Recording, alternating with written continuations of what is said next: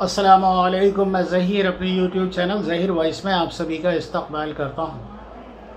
خصوصی عرض یہ ہے کہ اگر جن حضرات میرے عمل و وظائف پڑھتے ہیں اور وہ کو ناکامی ملتی ہے تو ان کو بہتر ہوگا کہ وہ مجھ سے عمل میں کامیابی کا نقش اور دیگر محبت یا آصف وغیرہ کے نقش پہلے مجھ سے منگا لیں۔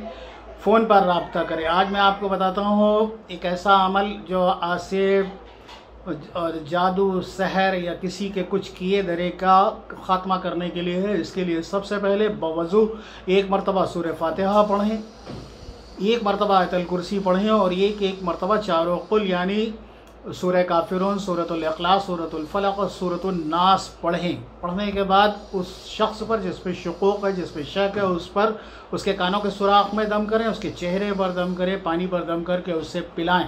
اس عمل کو دن میں تین مرتبہ دوہرائیں، انشاءاللہ تین دن کے اندر رفاقہ ہوگا۔ اگر نہ ہو تو گیارہ دن تک اسے کر سکتے ہیں۔